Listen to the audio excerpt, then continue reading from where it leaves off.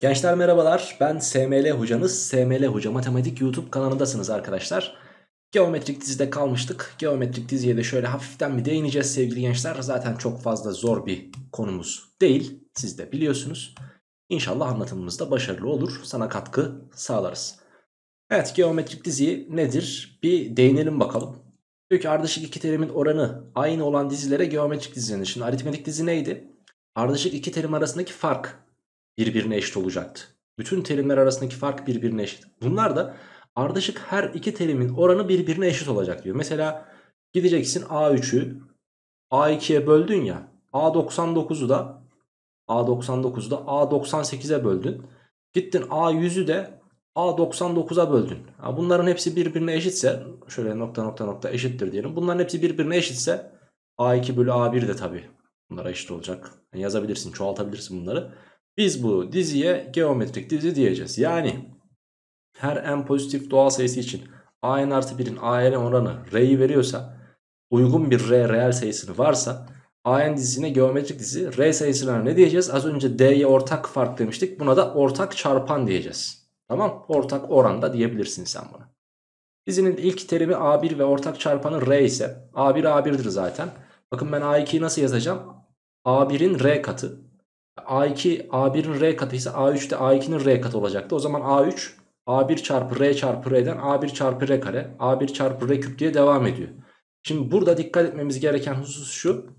Bakın indis 2 iken R'nin kuvveti 1. indis 3 iken R'nin kuvveti 2. indis 4 iken R'nin kuvveti 3 ise indis n iken R'nin kuvveti 1 eksi. Yani n eksi 1 olacak. Yani sen dizinin genel terimine diyeceksin ki kardeşim A n eşittir A1 çarpı R üzeri n eksi 1'dir diyeceksin.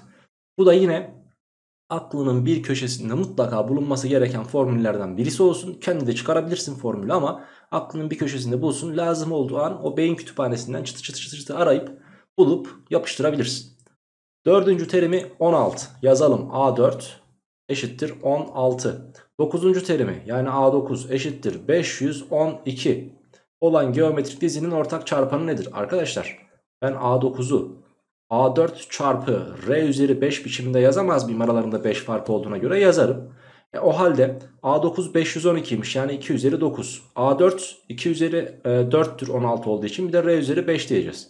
E şimdi ben bunu diğer tarafa atarsam 2 üzeri 9 bölü 2 üzeri 4 eşittir R üzeri 5 dersem 2 üzeri 9'u 2 üzeri 4'e böldüğüm takdirde 2 üzeri 5 gelir. Demek ki bunlar 5 ve 5 ise tabanlar birbirine eşit olacak. R 2'ye eşittir sevgili gençler. Ortak çarpanımız R 2'ymiş diyeceğiz gönül rahatlığıyla. Bir de geometrik dizinin özelliklerini inceleyelim. İlk özelliğimiz geometrik dizide herhangi bir terim kendisinden aynı uzaklıktaki terimlerin geometrik ortalaması yani her n pozitif doğal sayısı için a'nın karesi n'inci terime k kadar uzaklıktaki k kadar solundaki terimle k kadar sağındaki terimin çarpımına eşittir diyoruz. Bu ne demektir? Mesela 1, 3, 9, 27, 81, 243, 729 diye yazalım biz terimlerimizi. Bunlar geometrik dizinin bazı terimleridir. Burada ortak çarpanımız 3. Mesela 27 sayısı. 27 sayısının karesi 9 kere 81'dir sevgili gençler. Yani 729 eşittir 27'nin karesidir. Veya 3 kere 243 743 729'dur ve 27'nin karesine eşittir. Demek ki 9 ile 81'in geometrik ortalamasıyla 3 ile 243'ün geometrik ortalaması 27'yi yani tam ortadaki terimi verecek bize. İkinci özelliğimiz sonlu bir geometrik dizide baştan ve sondan eşit uzaklıkta bulunan terimlerin çarpımları birbirine eşittir demiş. Az önce verdiğimiz e, dizi örneğini yine verebiliriz. Bakın 1 ile 729'un çarpımı 3 ile 243'ün 9 ile 81'in çarpımına ve bu da 27'nin karesine eşittir her zaman. Geometrik dizinin ilk n teriminin toplamı Sn ise Sn şu şekilde bulunur. A1 çarpı 1 eksi R üzeri n bölü 1 eksi R. İşte aklımızda tutmamız gereken en önemli formüllerden bir tanesi bu. Birinci terim çarpı 1 eksi R üzeri n yani ortak çarpanın n'inci kuvveti bölü 1 eksi R olarak biz ilk n terim toplamını bulabiliyoruz geometrik dizilerde. 1 bölü 16 ile 1024 sayıları arasına geometrik dizi oluşturacak biçimde 13 tane sayı yerleştirildiğinde dizinin 8. terimi. Bak şimdi. 2 tane terimimiz vardı zaten. Arasına da 13 tane terim koyarsak kaç tane terim olur bu dizide? 15 tane. İlk terim A1 1 bölü 16 yani 2 üzeri eksi 4'müş diyeceğiz. Ve son terim olan A15'te 15 tane terim olur demiştik. 1024 yani 2 üzeri 10 olacaktır. Dizinin 8. terimi sorulmuş. Önce ortak çarpanını bulalım. Bir kere A15 dediğimiz dizinin terimi A1'in R üzeri 14 katıdır. A15 neydi? 2 üzeri 10'du. A1 2 üzeri eksi 4'tü ve çarpı bu da R üzeri 14'ü verecek bize. E peki güzel kardeşim şu 2 üzeri eksi 4'ü karşıya atarsam ben 2 üzeri 14 eşittir R üzeri 14 olmaz mı? Demek ki R kaçmış? 2'ymiş. Şimdi 8. terim soruluyor. A1 çarpı e, R üzeri 7. Bu 8. terime eşit olmaz mı? A1'imiz 1 bölü 16 idi. R üzeri 7 de 128'dir. 128 bölü 16 kaçtır arkadaşlar? Bu da sevgili gençler 8'dir diyebiliriz. Demek ki bizim dizimizin ee, şöyle diyebiliriz. Bakalım yanlış bir şey söyledik. Yanlış bir şey söyledik. Yani yanlış bir şey mi söyledik? Yok R'yi bulmuştuk biz zaten. Neyi sormuştu? 8. terim. Ha, tamam doğru bir şey söylemişiz. 128 eşittir 8'dir. Yani 8. terim 8'dir diyebiliriz sevgili gençler. Geçtim arkadaşlar. Bir diğer soruma. Bir geometrik dizinin ilk terimi A, ortak çarpanı 2, en iç terimi B olduğuna göre bakın. Eninci terim B'ymiş. İlk terim A'ymış. R'de 2'ymiş. Buna göre dizinin ilk n terim toplamının A ve B cinsinden eşiti. İlk n terim toplamı olan S'ne ben ne diyordum? A1 çarpı 1 eksi R üzeri n bölü 1 eksi R diyordum değil mi? Peki R'yi vermiş 2. Dolayısıyla Sn eşittir. A1 neydi? A'ydı. Çarpı 1 eksi 2 üzeri n. Kaç tane terim arkadaşlar? N tane. Bölü bölü. Ee, son olarak da sevgili gençler ne diyeceğiz? 1 eksi r yani 1 eksi 2. Yani eksi 1 diyebiliriz biz buraya. Şunu silelim. Şuraya eksi 1 diyelim. Şimdi b'yi nerede kullanacağız? 1 eksi 2 üzeri n demiştik sevgili gençler. 1 eksi 2 üzeri n demiştik. Ben burada bunu a1 eksi a1 çarpı r üzeri n biçiminde yazabilirdim şu kısmı. Ve bunu yazdıktan sonra a1 çarpı r üzeri n dediğimiz ifade sevgili gençler bir kere dizinin genel terimi an eşittir a1 çarpı r üzeri n eksi 1 değil miydi? Aynen öyleydi.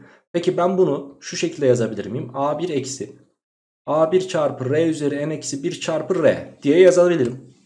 Yani şu kısımdan bağımsız olarak şurayı bir sileyim tekrar. O kısmı tekrar yazacağız.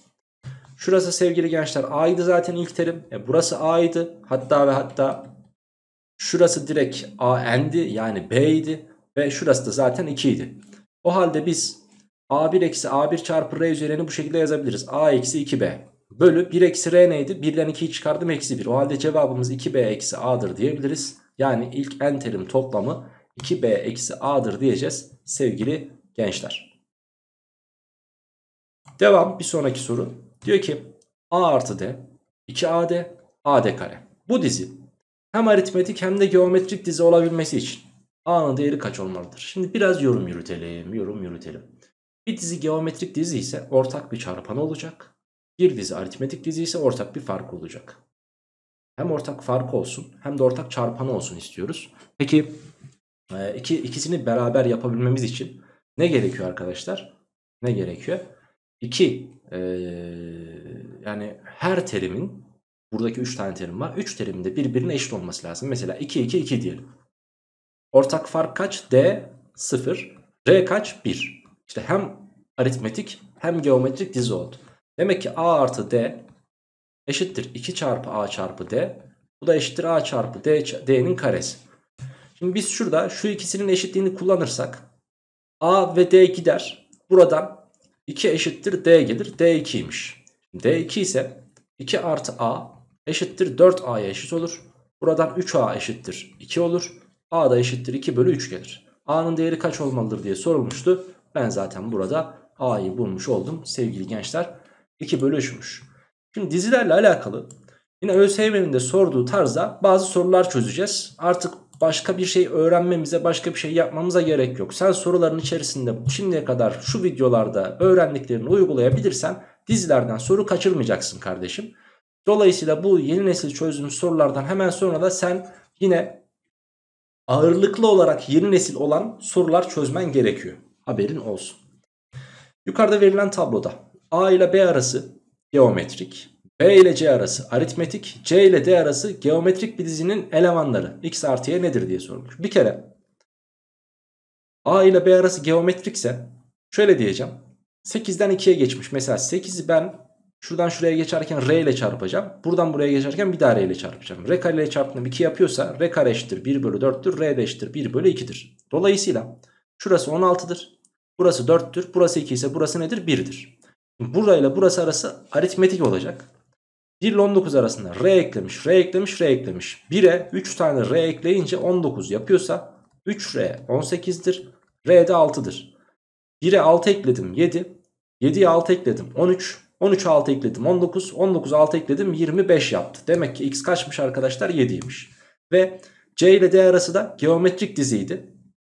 Bakın bura, buradan buraya geçerken r ile buradan buraya geçerken r ile buradan buraya geçerken r ile çarpmış. Yani 25 çarpı r'nin küpü eşittir 1 bölü 5 olacak. Bu da 125 eşittir 1 bölü r küpse r dediğimiz sevgili gençler nedir? Ee, 1 bölü 5'tir. Böylelikle 1 bölü 1 bölü 5'in küpü 125 yapar. R 1 bölü 5 ise çarptım burası ne geldi 5 çarptım 1 geldi çarptım 1 bölü 5 demek ki y kaçmış arkadaşlar 5'miş. X ile y'yi topla demiş bize. E, X 7 idi y de 5 toplamı kaçtır 12'dir cevap da budur diyebiliriz.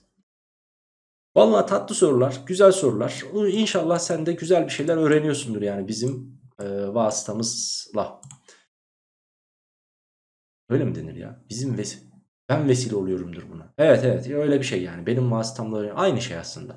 AN eşittir 2 üzeri n geometrik dizisi ve ortak farkı 3 olan BN e, aritmetik dizisi veriliyor.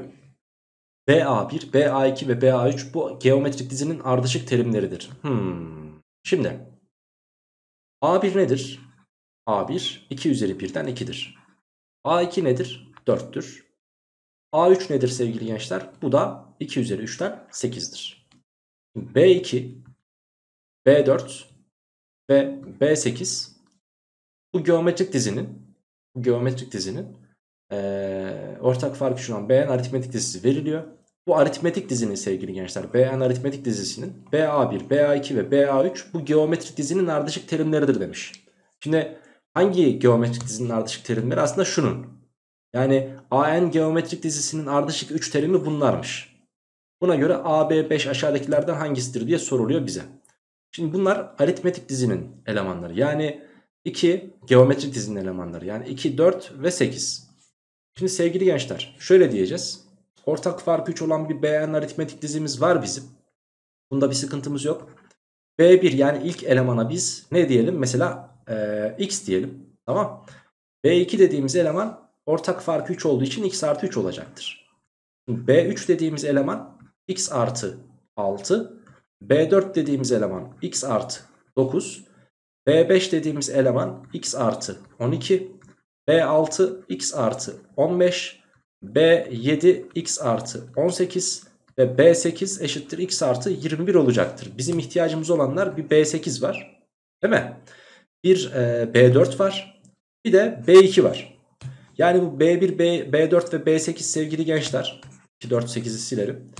E, tabanlarıydı onlar. indisleriydi. x artı 3, x artı 9, x artı 3, x artı 9 ve x artı 21'miş. Ve bu şunlar geometrik dizinin ardışık 3 terimiymiş.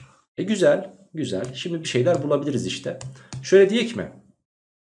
Ben x artı 21'i x artı 9'a bölersem bu x artı 9'un x artı 3'e oranına eşit olacaktır. Doğru mu? Doğru. İçler dışlar çarpımı yardımıyla şu ikisini çarparsam karesi gelir. x kare artı 18 x artı 81 eşittir. Şununla şunu çarparsam x kare artı 24x artı 63 olacaktır. x kareler bir kere gitsin. Bunlar gittikten sonra bunu bu tarafa attım. 6x 63'ü diğer tarafa atarsam 63'e kaç eklersem 81 olur sevgili gençler 18. Demek ki x kaçmış? 3'müş. Şimdi x 3 ise demek ki burası 6'ymış. x 3 ise demek ki burası 12'ymiş. x 3 ise demek ki sevgili gençler burası da 24'müş. 6, 12, 24 diye devam ediyor. Şimdi diyor ki A, B5 kaçtır? Bir kere. Bir kere. B2 neymiş sevgili gençler? B2 e, x'i kaç bulmuştuk biz? x'i x'i x'i 3 bulmuştuk. E şimdi B5 lazım bize. B5 x artı 12 idi. 3 artı 12 kaç yapar? 15 yapar. Demek ki A15 soruluyor. Bize soru ne oldu? Soru bitti. A15 sorulmamış mı? Ben genel terimini biliyorum. 2 üzeri 15 olur sevgili. 2 üzeri 15 olur sevgili gençler. Bizim cevabımız yani cevap Ceyhan seçeneğinde verilmiştir diyebiliriz.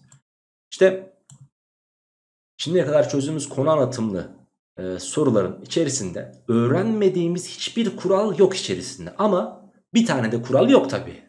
Biz 3-4 tane bilgiyi bir araya getirdik bu soruyu harmanlayıp çözdük. Ve nasıl diyeyim karşına çıkabilecek gerçekten kafa karıştırıcı sorulardan bir tanesiydi bu. Hani kafa karıştırıcı sorulara 10 üzerinden puan verirsek işte bu 10 üzerinden 9'luk bir soruydu sevgili gençler. Geçtim bir diğer soruma. Bir kısım uzaklaşalım. Aşağıda bir çizim programının kopyalama sekmesi gösterilmiş. %50, %75, %100, %25 diğer şeklinde. Bu programla oluşturulan bir tasarımın bu sekme ile aynı daha büyük ya da daha küçük kopyası oluşturulabilmektedir. Örneğin bu sekmeden %75 tıklandığında tasarımın %75'i büyüklüğünde bir kopyası oluşturulmaktadır. Akif bu çizim programıyla bir çubuk tasarımı hazırlamıştır. Sonra kopya sekmesinde ard arda 5 kez %20'yi tıklayarak tasarımın 5 farklı kopyasını oluşturmuştur. İlk %20 kopyalama işlemi e, tasarımın ilk haline, diğer %20'lik kopyalama işlemleri hemen önceki kopyaya uygulanmıştır diye söyleniyor bize. Güzel. Çubuk tasarımının ilk hali ve elde edilen 5 kopyalama sonucundaki hali ucuca eklendiğinde 5 üzeri 6 eksi 1 bölü 100 milimetrelik bir uzunluk elde edildiğine göre Akif'in hazırladığı ilk tasarımda çubuğun uzunluğu kaç milimetredir diye sorulmuş. Şimdi ben birinci terimim çubuğun ilk hali sevgili gençler ki biz buna x diyelim.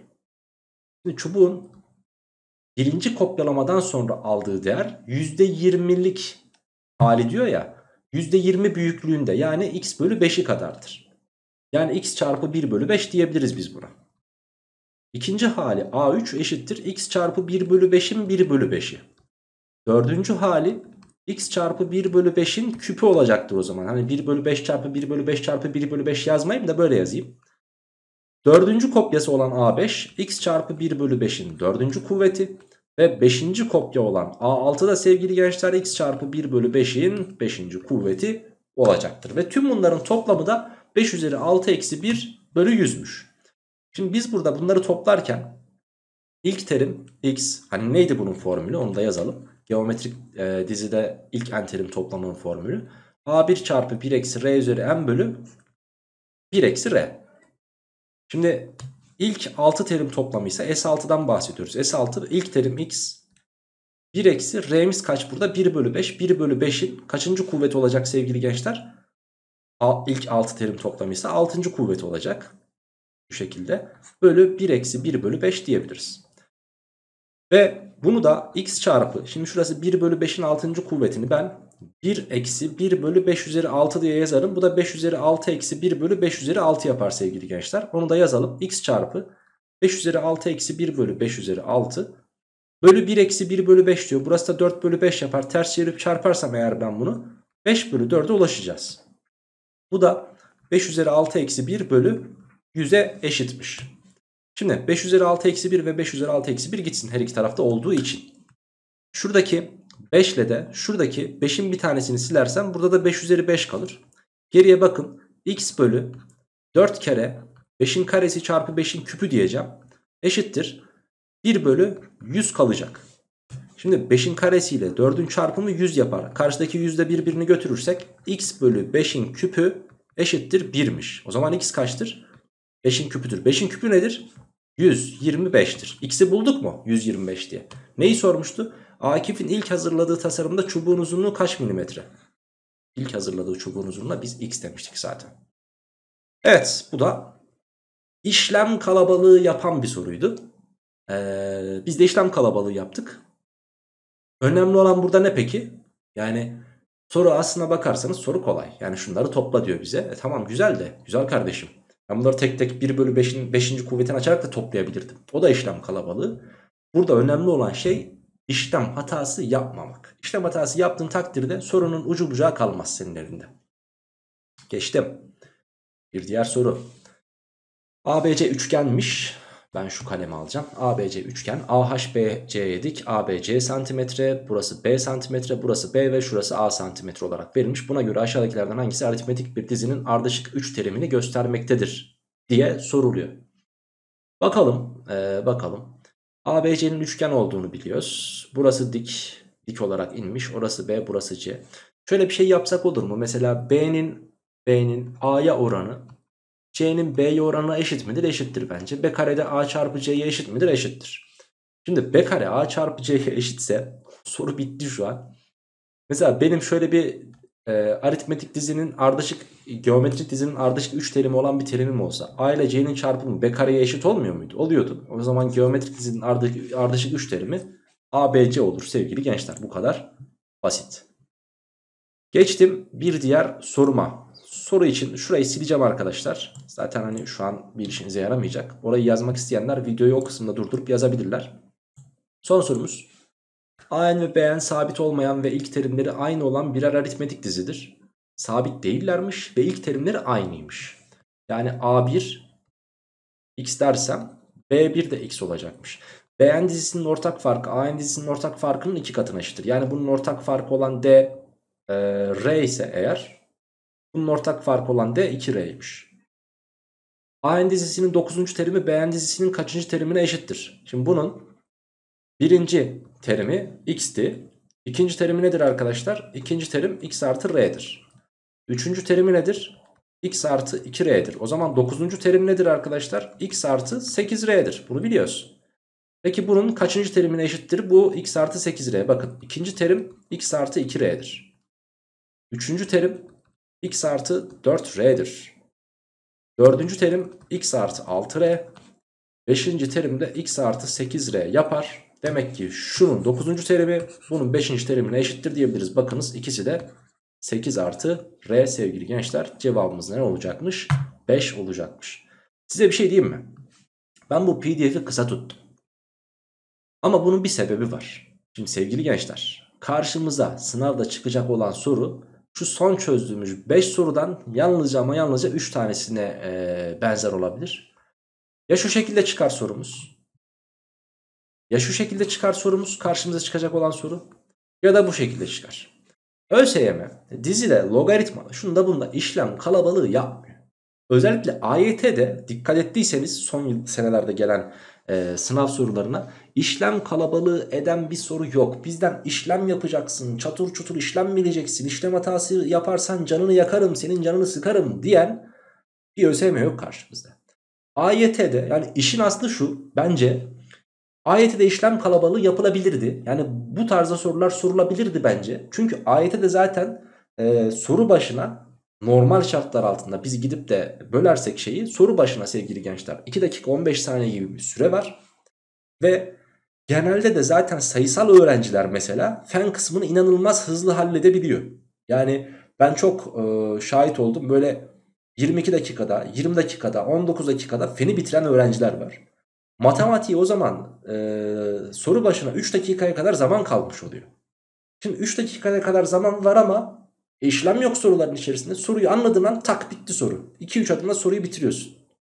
E, tamam ama tam tersine bakıyorsun. TYT'de soru başına neredeyse 1 dakika kalıyor ve sevgili gençler hani ortalama olarak söylüyorum 1 dakika kaldığını düşünün. Soruların hepsi yorum sorusu. İşlem desen o da var, yorum desen o da var. Hepsini yapıyorsun ama bir dakikanız var. İşte AYT'de aslında biraz daha böyle işlem olan sorular olup da TYT'de biraz daha böyle hani işlemsiz sorunun mantığını anladığın soruyu çözdüğün sorular olsa daha tatlı olurdu. Ee, ama ben bu sene TYT'nin de aynı geçen sene de kurmuştum ben bu cümleyi pandemi sürecinde. Ee, videolarımı açıp izleyebilirsiniz. Aynen şu cümleleri de söylemiştim. Bu da bir rehberlik videosu olsun size. Ee, videonun sonu. Demiştim ki arkadaşlar merak etmeyin. Sınav çok basit olacak. Ona göre hazırlanın. Bana diyorlar ki hocam çok zor sorular çözmemiz lazım. Sizden zor sorular bekliyoruz. Ben çıkıyorum. Ee, XX'ler sorular serisi hazırlamışım. İşte 5 soru 5 çözüm. O 5 soru 5 çözüm serisinde mesela tamamen sınava yönelik sorular paylaşmıştım. Ee, ve çoğu öğrenci altına girip bakın girip bakabilirsiniz yorumların altına. Çoğu öğrenci yorumlara şunu yazmıştı. Hocam siz bu değilsiniz daha zor sorular bekliyoruz. TYT çok zor olacak. AYT çok zor olacak. Siz ne yapıyorsunuz? Hocam daha zor sorun sizden size bu yakışmıyor. Cart curt şunlar bunlar. Ya ben ısrarla dedim ki arkadaşlar sınav kolay olacak. Sınav kolay olacak. Bu 2-2-4. Ama ısrarla ısrarla ee, bunu tersini iddia ettiniz ve Ee, olmayacak dediniz. Sınavlar ne oldu? Hem TYT hem AYT çok basit oldu. Şimdi ben bu sene yine diyorum ki arkadaşlar sınavınız yani YKS 2021 kolay olacak. Bunun e, için size ekstradan güzel bir video çekeyim, bir rehberlik videosu çekeyim. O rehberlik videosunda buluşalım sevgili gençler. Çok güzel konu başlıkları hazırladım sizler için. E, 2021 YKS için beklentilerinizi karşılayacak bir video olacak. Dediklerimi yapın, yaptıklarımı da yapın. E, bizi dinleyin arkadaşlar. Abone olun, bildirimleri açın. Videoları beğenmeyi unutmayın. Ee, ben sizler için her zaman buradayım. Hem rehberlik kısmında işin hem ders konusunda hem matematik kısmında hem de rehberlik böyle motivasyon konusunda ben her zaman buradayım. Söz verdiğim gibi sen sınava girene kadar hani sınava girmeden 5 dakika önce tamam açıp video izle demiyorum ama ben, benim sana nasıl bir yararım olabilir? Sen sınava girerken ben beni izleyen herkese bu kanaldan en ufak bir şey öğrenen herkese böyle ellerimi açacağım dua edeceğim arkadaşlar. En büyük katkım da sanırım böyle bir şey olabilir. Diyelim videoyu noktalayalım. Bu arada son çözümümüz 5 soru. Acil matematik AYT kitabındandı. Ee, çok güzel sorular sizleri de bu kitapta bekliyor. Haberiniz olsun. Bir sonraki videomuzda görüşünceye dek hoşça kalın, sağlıkla kalın ve bol bol matematik çalışmayı da unutmayın.